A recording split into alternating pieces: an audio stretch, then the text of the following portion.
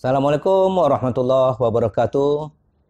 Saya Adib Al-Fikri, Kepala Dinas Pendidikan Provinsi Sumatera Barat, mengucapkan selamat dan sukses atas Hari Guru Nasional pada tanggal 25 November uh, pada tahun 2019 ini.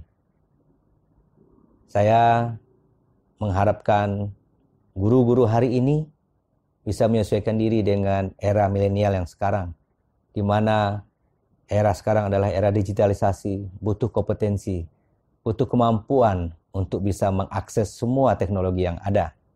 Dan sekaligus bersiap diri untuk bisa move on dan mampu untuk bisa menyesuaikan dengan semua tantangan-tantangan yang ada.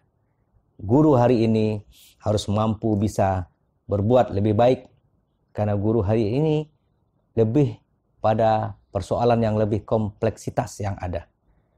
Kami berharap guru semakin mengupdate dan mengupgrade semua kapasitas dan kompetensinya agar bisa menyelesaikan tantangan-tantangan yang ada. Sekali lagi, selamat Hari Guru. Semoga guru tetap menjadi pilihan yang terbaik. Terima kasih.